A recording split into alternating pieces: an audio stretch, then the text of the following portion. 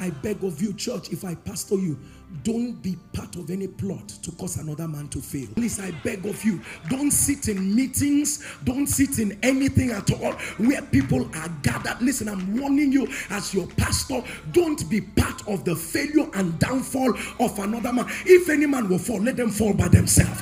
If any man will fail, let them fail by themselves. But don't ever sit in a meeting and you look at someone who God has put his hand on or someone who is doing well and all of that. Listen, the sky is too big for every you will do well. Don't look at your neighbor that is prospering more than you, and all you are doing is like, what can I do in order to pull your neighbor down? Listen, people of God, if you are thinking of pulling another man, you too, you will go down. Though. Do you think you're the only one praying this prayer? Are you the only one on the altar of fire? People of God, you do not know. They might not be there, but their brothers are there, their sisters are there, and they are covering all of them with prayer. Don't be part of a plot to bring down another man, because whatsoever a man sows, that he shall reap. There are people, they are not that fine, but their hearts have made them so beautiful. There are people when they come in, they lighten up the room because their hearts are there. Every time you come, everybody wants to walk on eggshell. People want to uh, check what they are going to say because you will pick fault with what everybody has said. The problem is not the people, the problem is your heart.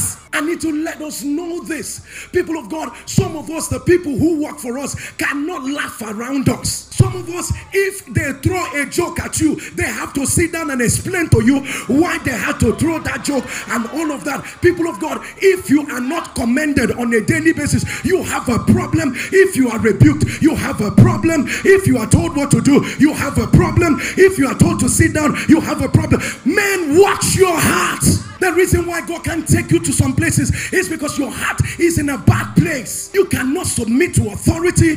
That, that that's a problem. You know, Pastor, I am very edgy. I'm very edgy. Everybody is now suffering from OCD. No, sir, daddy, nothing is OCD in you. The major problem you have is what? Your heart.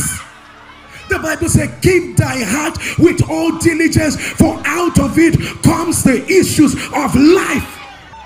Of you young girls are wasting my anointing. Every day I'm releasing marital grace, marital grace, marital. But listen, keep quiet. Let me finish. You know, I'm releasing marital grace, but your heart, your heart, your heart. All the scars you have carried, everything you have done, you enter into it, you put the person on the edge. They are being careful, they want to know because all of you who called you, why did they call you? Where are they coming from? They were human beings before you entered their life. Keep your heart pure.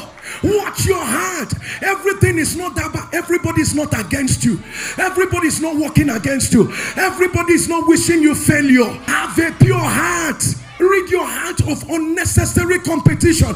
People of God, God will bless them, but God will also bless you. Have that at the back of your mind. God blessed you and did not shut the door permanently. The same way he blessed you, he will bless another person. So why are you getting edgy? Because another person is also rising. The same way he caused you to come on, fix your heart.